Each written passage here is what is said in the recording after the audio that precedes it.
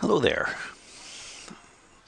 I'm doing this presentation on the power of Excel 2010 slicers and creating a dashboard. Someone had asked about the effectiveness of Excel in creating a dashboard and just wanted a screenshot as just for an example. But rather than doing a screenshot of that, just give you this quick demo video. Right now I'm looking at a sample manufactured database data table. It's a hypothetical situation of stores that are selling specific products in the breads, fruits, and vegetable category with specific products. And looking at over sales of 2011 2012 the data itself again is manufactured uh, just created out of random data.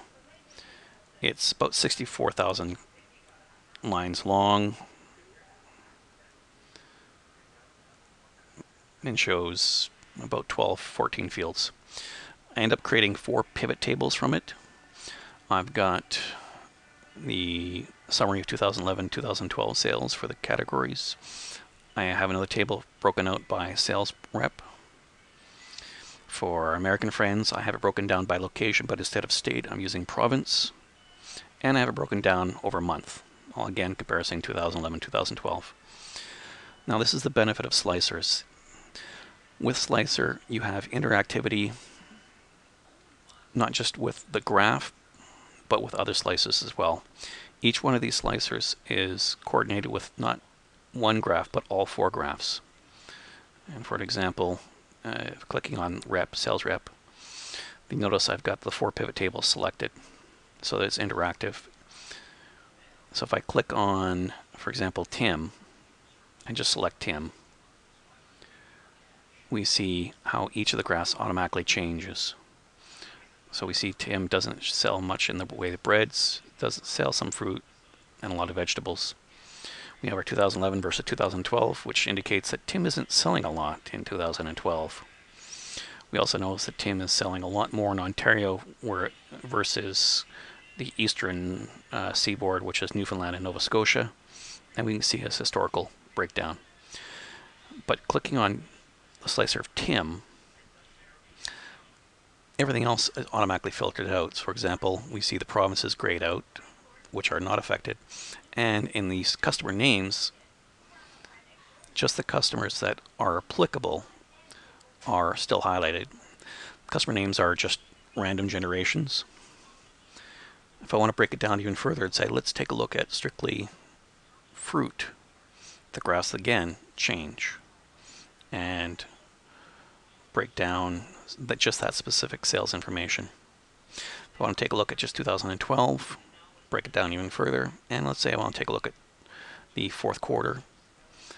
And again, when I do the fourth quarter, we see the months automatically gray down. And if I want to reset everything, I just click the reset filter button, and everything goes back to the way it was.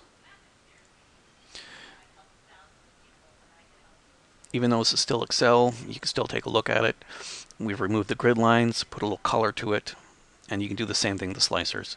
With a slicer, click on slicer options, and you can pick and choose a color format just to pretty it up. So you have an interactive graphical interface for your dashboard. It, you have some color, and it's a file that you can share with other people.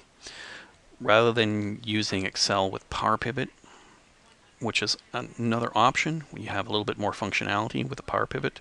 The problem with Power Pivot for Excel is that you have to ensure that each user has Power Pivot installed.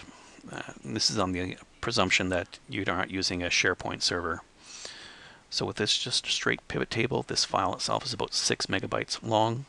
You can protect the data sheet so that no user can add to it or change anything But and user can go in and create their own pivot table or pivot chart and then add on their own slicer or spark line and see what they want to see. So for example, if I want to add on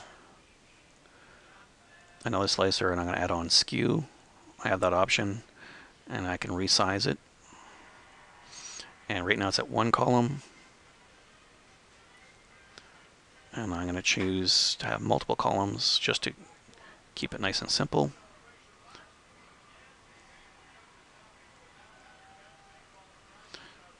And with a slicer, like I said, you can resize it and put it in where you want and customize in that feature. There are advanced options with slicers. You can create macros and have the slicers affect other cells and vice versa.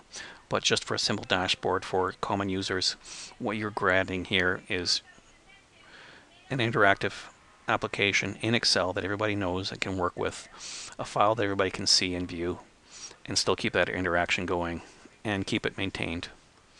So I hope you see the benefit of setting up an Excel dashboard and the power of slicers. And I thank you for your time.